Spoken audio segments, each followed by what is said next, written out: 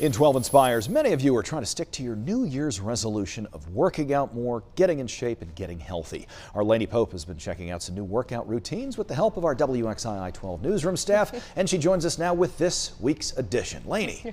That's right. Well, last week you saw me try CrossFit, an intense workout for all ages and fitness levels. Well, this week I got to hang out with our assistant news director, Laura Levitt, and a group of women at Burn Boot Camp. There I found a close group of ladies, including Emily Leong. They support each other through thick and thin. Good morning, Lainey. You ready? I'm ready. I think I'm still sore from working out the other day. You'll be fine. I hope so. Burn Boot Camp. Sounds a little like basic training to me.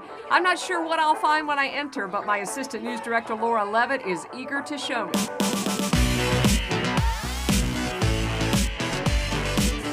You'll feed off the energy of it. It's loud music, the women are cheering you on, you're cheering them on. The Burn workout is a 45 minute circuit and high intensity routine that mixes cardio and strength training. It's different, it's fast paced. I've never been in here and been bored. There are planks, lunges, and donkey kicks to name a few, and you'll be stepping, jumping, and running. You're not going to have the same workout um, in a week or in a month or even in a year. Um, you may see some of the same exercises, however, it's going to be broken up into different um, things each week. You never know what's going to be put on that whiteboard, so it's a challenge every time you come in here. Emily Leong walked through the burn doors for the first time two years ago. It was a big step for her. When you walk in here, you see a lot of very fit women. And so after two years of not working out, that was a little intimidating. But it's not about competing with the other women in this class. It's about being better than who you are and your journey through um, fitness and getting better. In the last two years, Emily has lost 50 pounds. Her burn sisters took notice and they continue to cheer her on, and their support goes beyond the workout.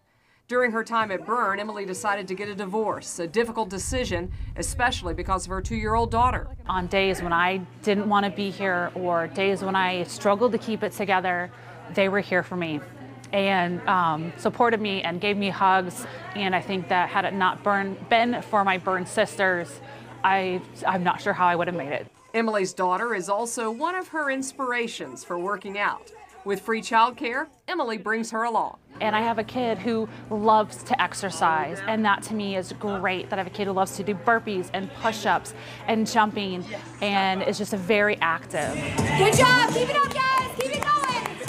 Of course, there's lots of activity, and you can track your progress with your personal trainer. Um, you get to do your body weight, your BMI, and go through all of your measurements and your um, your weight and we just we sit down with you and talk about your goals and kind of what you're wanting to reach along the way. It's extremely rewarding for me to see each and every person walk through those doors and reach those goals that they have no matter how small or how big they may be. I mean i feel mentally better. I feel sharper when i'm coming here every day.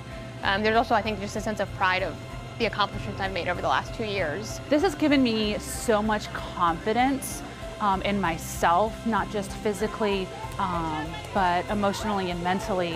Um, I feel so much more better about myself doing these workouts and coming in and looking at that board and going, I can do that.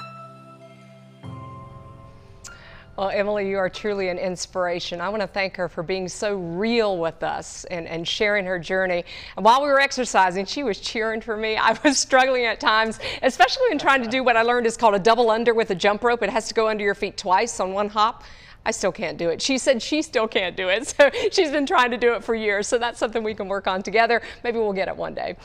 Well, next week I'm going to throw my hat into the ring with reporter Meredith Stutz for 9Round. We're going to meet Charles. He shares his story blow by blow. Ah.